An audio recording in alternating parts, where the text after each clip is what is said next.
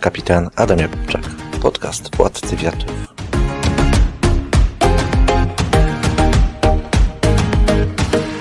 Witam wszystkich słuchaczy podcastu Władcy Wiatrów. Witam też wszystkich naszych widzów kanału Baltic Anchor na platformie YouTube.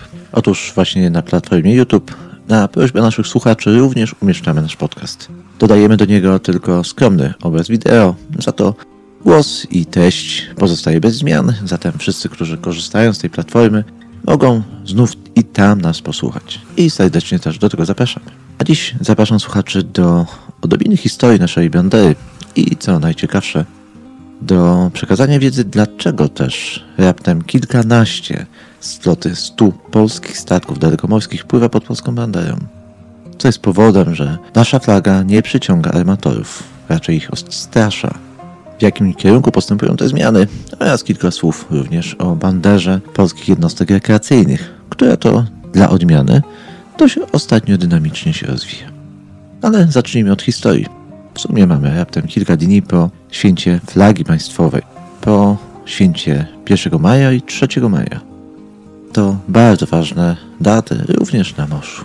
Jeśli chodzi o tego typu daty, jeśli chodzi w ogóle o tożsamość narodową, trochę patriotyzm, ale też tęsknotę za krajem, to ja już to wiem, a słuchacze mogą mi po prostu wierzyć. Gdy długotrwale przebywa się za granicami kraju, to nawet trawniki w polskich parkach, gdy wraca się na chwilę, pachną inaczej, lepiej. Choć na co dzień czujemy tylko smog w miastach, tak gdy ja wracam do Polski, to czuję, że Polska pachnie inaczej, lepiej. I w sumie ma tak naprawdę większość osób długotrwale przebywających za granicą.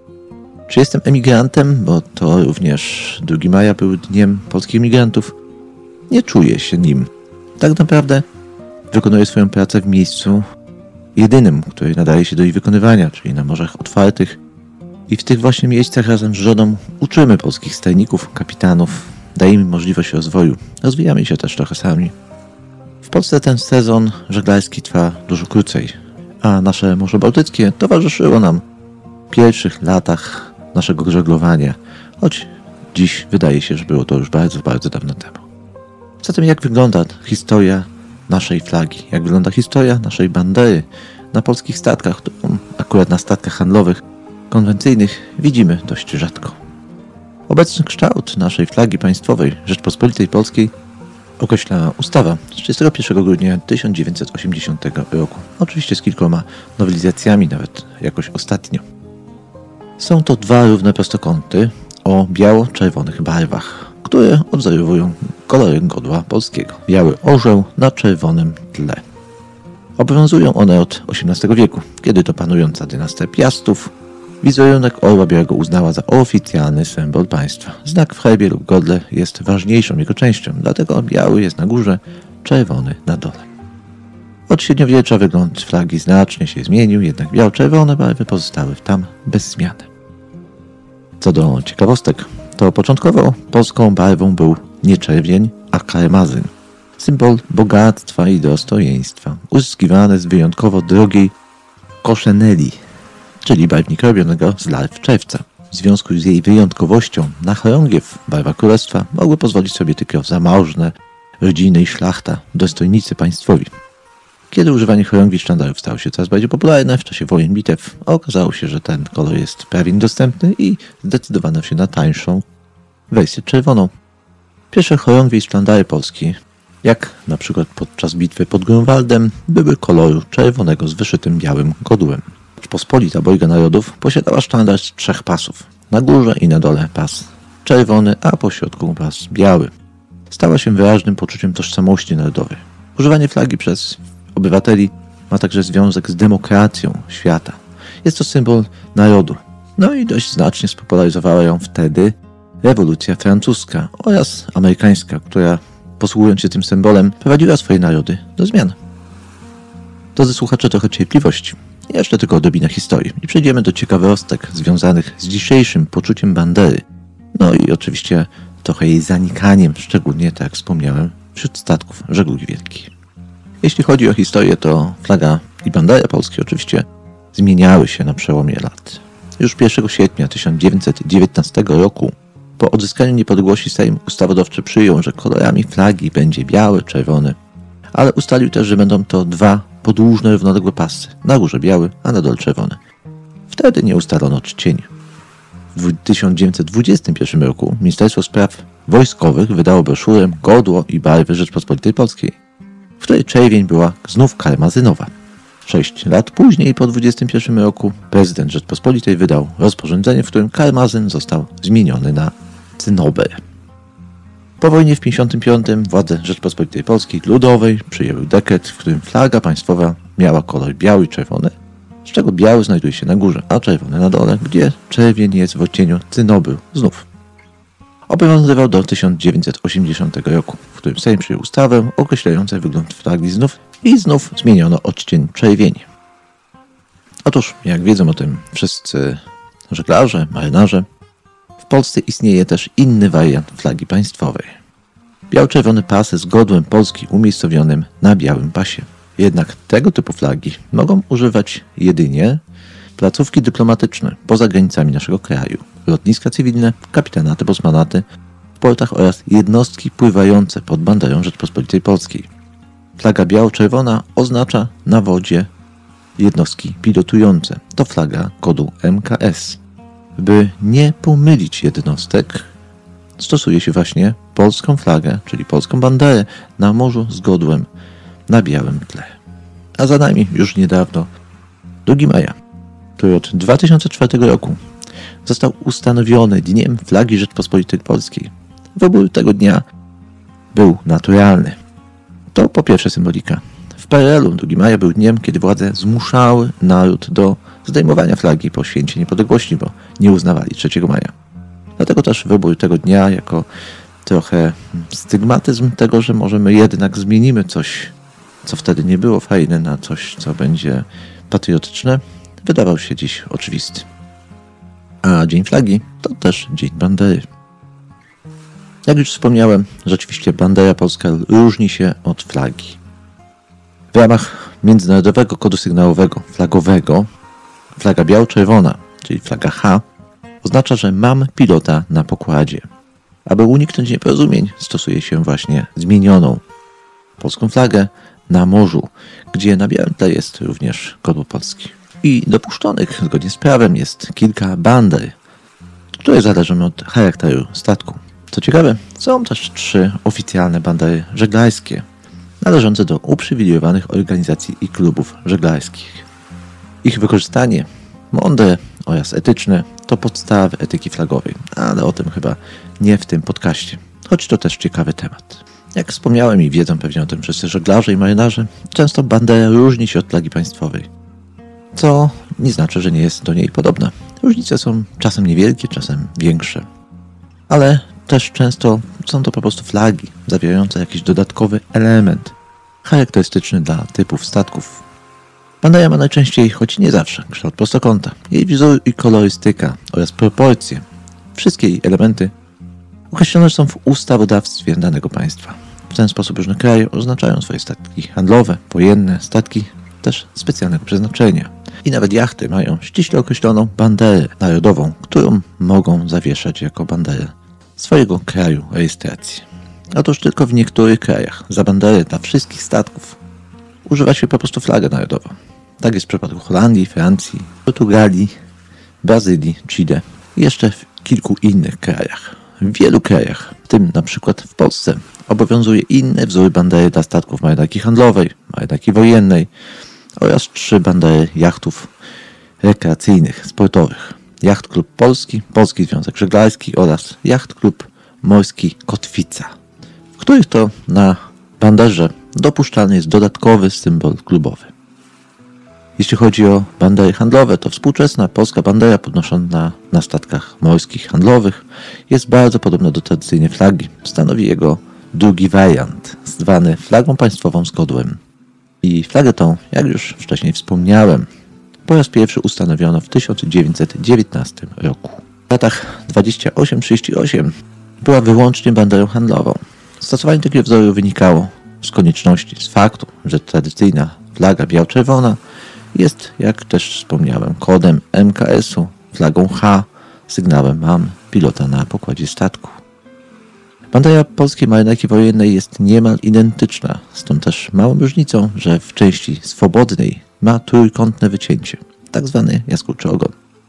Jest to wzór charakterystyczny dla statków marynarki wojennej państw nadbałtyckich. Tylko, że inne kraje mają trochę inne proporcje. Jak to wygląda z państwowo dostępnymi banderami dla jachtów rekreacyjnych, żaglowych? Pierwsza to bandera Jacht Klubu Polskiego. Bo tak, to prawda. Oprócz bandery marynarki handlowej, marynarki wojennej, Polska ma trzy bandery żeglarskie. I pierwszą z nich, banderę Jacht Klubu Polskiego, podniesiono pierwszy raz w 27 roku. Była polską banderą wojenną, zawierającą w lewym górnym rogu pierwotną flagę JPK, ukośny czerwony krzyż w niebieskim obwodzie. Druga to bandera Polskiego Związku Żeglarskiego. Z ciekawostek, powołany został już w 24 roku. Polski Związek Żeglarski już od tak dawna reprezentuje całe nasze państwo na arenie międzynarodowej, ale powstał z potrzeby chwili. W 24 roku, kiedy Polska chciała wziąć w zbliżających się Igrzyskach Olimpijskich, to było warunkiem przystąpienia do tych igrzysk. I to właśnie organizacja ogólnokrajowa musiała wytypować osoby powołane do reprezentacji. Tak powstało PZŻ. Jako pierwsze powstało godło właśnie związku. To kotwica, w której trzon wkomponowano inicjały związku litery PZŻ, jedna nad drugą. Trzy fale tworzą ramiona tego prostego, czytelnego i niezmienionego do dziś symbolu, znanego dzisiaj chyba każdemu polskiemu żeglarzowi. Oficjalna bandera i proporzec PZŻ ukazały się najprawdopodobniej dopiero 3 lata po założeniu w 27 roku. Godło barwy niebieskiej zostało umieszczone w kanonie polskiej bandery cywilnej. Pierwsza powojenna bandera PZŻ miała domalowany znak związku tuszem na powojennej banderze polskiej floty, która w czasach 57-91 zawierała orła bez korony. Większość tej kotwicy była mniejsza niż na banderach przedwojennych. Wówczas bandera Polskiego Związku Żeglarskiego nosiła symboliczną kotwicę PZŻ, równą prawie wielkości godła polskiego, białego orła w koronie na czerwonym tle. Trzecią banderą jest bandera klubowa oficjalnego jacht klubu. Wprowadzona została najpóźniej, bo 5 lat po banderach. Wcześniejszy klub wojskowy uzyskał prawo noszenia bandery podobnej do jacht klubu polskiego. Bandery wojennej z klubowym godłem w kanonie, a samo godło klubowe zawierało znak zaczerpnięty z bandery kaprów polskich. De facto polskiej marynarki wojennej sprzed wielu, wielu wieków obnażoną rękę z tasakiem marynarskim na czerwonej tarczy. Tradycję oficerskiego jacht klubu kontynuował po wojnie jak klub marynarki wojennej Kotwica. Miano wówczas ukośny krzyż z przedwojennego wariantu na rzecz większej tarczy z uzbrojonym ramieniem. Na koniec historii bandery polskiej warto by jeszcze dodać, że mamy też kilka wariantów bandery wojennej. Tak, jest kilka jej wariantów. Bandera okrętów wojennych nie tylko w Polsce ma inny wzór niż bandera okrętów handlowych. Na przykład bandera duńska, oprócz wcięcia odróżniającego jej od typowej flagi Danii, przewiduje zastosowanie dodatkowo stopnia dowódcy okrętu. A w Polsce poza banderą zasadniczą marynarki wojennej mamy jeszcze banderę jednostek pomocniczych. Pełnią one rolę wsparcia okrętów wojennych i nie biorą udziału najczęściej w działaniach bojowych. To bandera wojenna na niebieskim tle ale chyba tyle w tych kilku minutach o polskiej jej historii i różnicach między nimi. To tyle tytułem wstępu. Otóż, jak wspomniałem na początku, jak każdy żeglarz, szanujemy banderę, pod którą pływamy. Szanujemy kraj, z którego pochodzimy. Jednak trochę serce boli, gdy widzę, gdy statki, które nazywają się po polsku, przewożą polskie produkty, pracują na rzecz naszą, pływają jednak pod obcymi banderami. Co najciekawsze jest to spory zastrzyk finansowy, podatkowy dla krajów pod banderą, których pływają.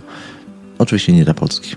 Tak, statki handlowe dalekomorskie zarabiają i to poważnie. I polscy, jak i zagraniczni armatorzy statków dalekomorskich absolutnie nie grożą upadłością. To już musi być naprawdę coś, co niezwiązane jest z ekonomią, żeby taka firma upadła.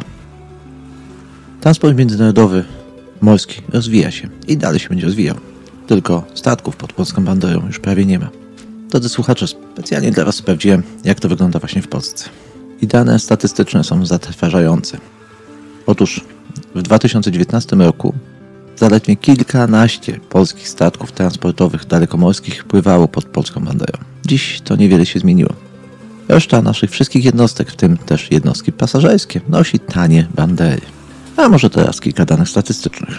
Otóż w 2019 roku mieliśmy ogółem 96 statków dalekomorskich, z czego 16 pod polską a pod banderą Bahamy 42, Cypru 11, Liberii 20 i Malty 7. Relacyjnie, prawda? Otóż moje i innych moich kolegów, również marynarzy, nie tylko żeglarzy, zainteresowanie wzbudził gazowiec Lech Kaczyński, niedawno wydzierżawiony przez grupę Orlen, który też nie jest zarejestrowany pod polską i pływa pod banderą Francji i tam też płaci podatki. To naprawdę nie jest wyjątek. Jednak pocieszę też słuchaczy, to też nie jest wyjątek w skali całej Europy. Choć tylko w Polsce marynarze pływający pod banderami obcymi to ponad 40 tysięcy marynarzy. To naprawdę poważna suma. Poważna też suma, jeśli chodzi o podatki. Podobno problemów można szukać w latach 70., ale problemy to nie tylko problem gospodarczy, to też sławna ratyfikacja konwencji SOLAS nr 40. Choć to dzisiaj nie będzie tematem naszej rozmowy, to pewnie kiedyś do niej wrócimy. Otóż na światowym rynku wtedy właśnie, w latach 70., pojawili się nowi gracze, kraje trzeciego świata które zaproponowały eksploatację pod tanimi banderami, czyli przy bardzo niskich podatkach i praktycznie bez zabezpieczeń społecznych marynarzy. Przeniesienie tej bandery umożliwiło zatem statkom niepłacenie pewnych podatków. Dzielili się częścią zysków z marynarzami, którzy również byli zadowoleni po prostu z większego portfela, który im rósł, chociaż zabezpieczenie społeczne pewnie mocno zmalało. Za kiedyś dawno, w dobie gospodarki nakazowo-rozdzielczej, nie było to problemem, nikt nie miał wyboru. Dziś jednak jest inaczej. Mówi się, że obecnie największą zaporą dla powrotu pod polską banderę są pewne koszty ubezpieczeń społecznych marynarzy, których nie podnosi się pod kosztą bandery taniej. Przykładowo, roczny koszt masowca koszalin pod banderą Bahamów wynosi 72,5 tysiąca złotych, a pod flagą polską wynosiłby 667 tysięcy złotych, jeśli chodzi o ubezpieczenia społeczne to 10 razy więcej. Więc o czym my tu mówimy? To nie mówimy o e, prostym wyborze. Ten wybór jest naprawdę prosty. To wybór ekonomiczny. Władze polskie już od kilku lat próbują coś z tym zrobić, jednak skuteczność widzimy sami. Nadal, nawet grupa Orlen, najnowszy gazowiec Lech Kaczyński, rejestruje pod flagą tanich bander. Co osobiście trochę mnie dziwi, biorąc pod uwagę, że teraz płacą podatki w innym kraju, a to podobno spółka z udziałem Skarbu Państwa, ale nie będę dociekał rzeczy politycznych na naszym kanale. To trochę przykre, ale taka rzeczywistość. Dziś wiele statków, które mijam w Afryce, mijam na Gibraltarze, ale też w Europie, które ewidentnie są statkami polskimi, jednak polskiej bandery nie mają. Na pokładzie mają również polskich marynarzy, którzy również płacą podatki w innych krajach. Mamy w pewien sposób oczywiście wolność, możemy robić co chcemy, ale w ten sposób kraje się wyludniają, a zwiększa się ilość Polonii na świecie, bo czasem wybór jest prosty to ekonomia. Wcale to nie znaczy, że pod tymi banderami na pokładach tych właśnie statków marynarze nie są patriotami. Są patriotami.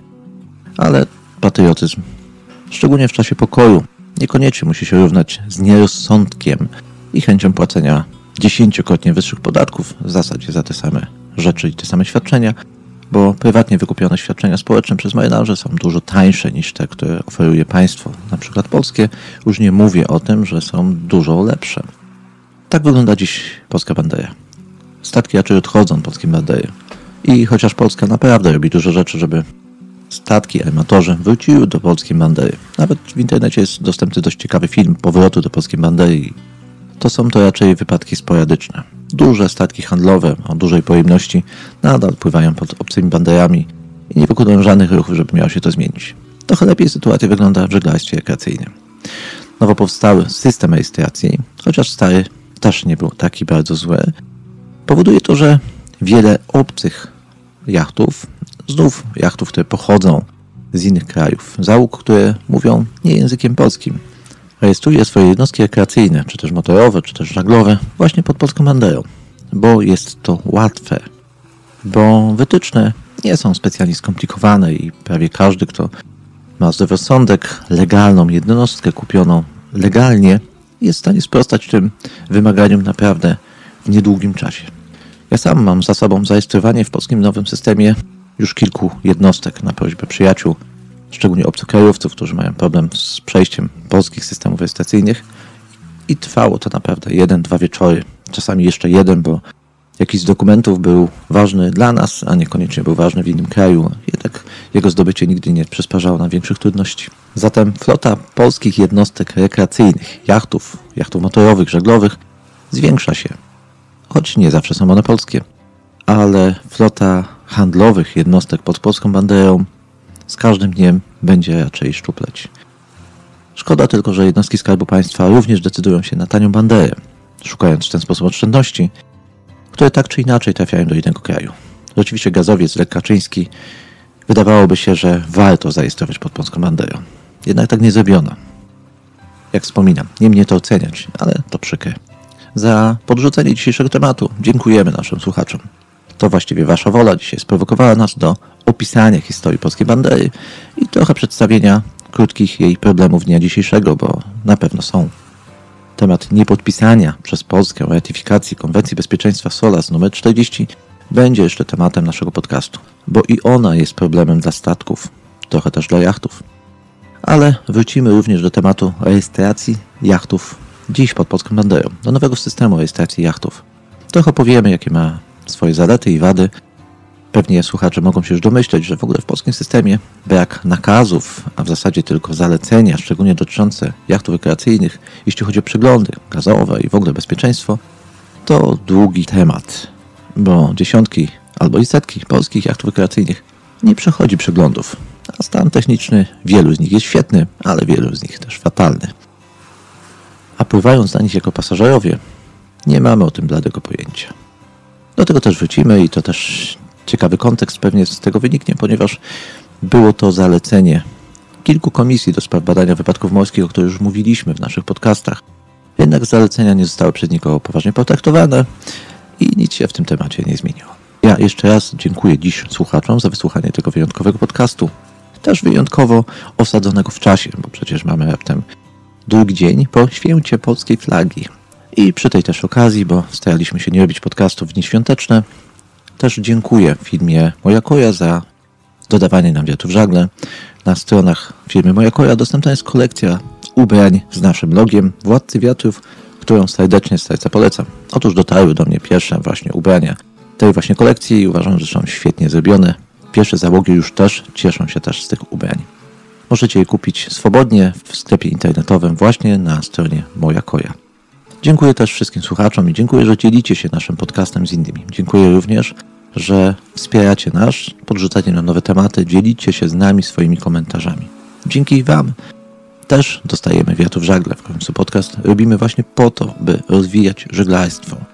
A dziś życzę wszystkim stopy wody pod kilem oraz wspaniałych wiatrów. Właśnie trwa tydzień majówkowy na Morzu Adriatyckim. Jestem oradowany, ale trochę mi przykro. Przykro, bo jeszcze 2-3 tygodnie temu byłem jedynym jachtem pod żaglami. Jedynym, który w ogóle podróżował i często tygodniami nie widziałem żadnej innej jednostki, już nieważne czy pod żaglami, czy nie. Dziś jest ich dużo. Fajnie, bo dzięki temu morza wyglądają ładniej. Bo tak, jachty pod żaglami wyglądają przepięknie na morzach. Szkoda tylko, że to co widzę w portach to czasem dantejskie sceny. Ale takie życie. Dzięki temu możemy znów rozwijać żeglarstwo i cieszyć się, że mamy jeszcze coś do zrobienia. Też jako nauczyciele i instruktorzy. Tak, Wypływam już za 2-3 godziny znów w morze. I mam nadzieję, że i dzisiaj przygody, które będziemy przeżywać, będą tylko takie, o których będziemy mówić z podniesionym czołem, a nie spuszczając oczy lub się tłumacząc. No bo tak to już jest na morzu, że wszystko co dobre to nasza zasługa, a co złe to trochę nasza wina. I z tym trochę moralizującym zakończeniem żegnam się ze słuchaczami, moralizującym, bo tylko w ostatnich dniach kilka jachtów na Morze Adriatyckich zostało przez załogi zniszczonych dokumentnie, najczęściej z powodu wpadnięcia na skały, rozbicia jachtów, co warunki i wiaty absolutnie nie uzasadniały. Szkoda jachtów. Jeszcze raz, do usłyszenia. Wszystkiego dobrego, słuchacze. Ahoj.